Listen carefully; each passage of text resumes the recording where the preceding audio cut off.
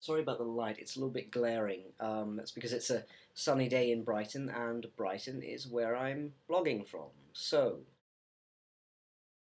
so these are my surgery results. Um, my surgery was done by Dr. van Loenen in Amsterdam.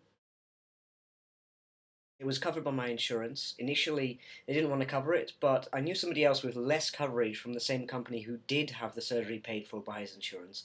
So I went over the insurance policy and found that they did cover mastectomies for cis men with gynecomastia. And then I went through the national insurance laws and found out that discrimination on the basis of sex is indeed illegal.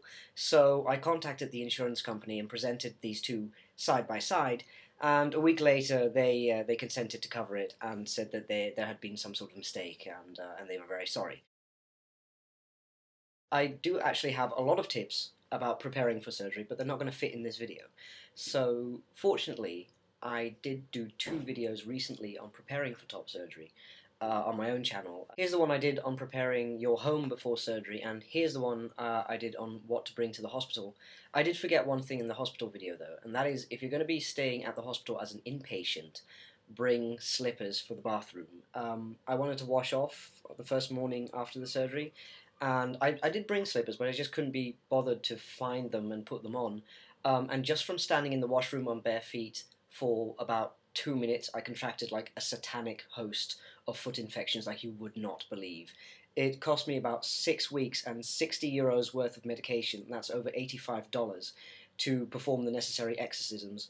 Um, it was nasty. Bring slippers, really. Do as little as possible in the first couple of weeks. Eat as well as you can, eat as well as you can manage. Um, take it very easy. And when the surgeon says you need to take six weeks before starting to exercise again, then take six weeks before starting to exercise again.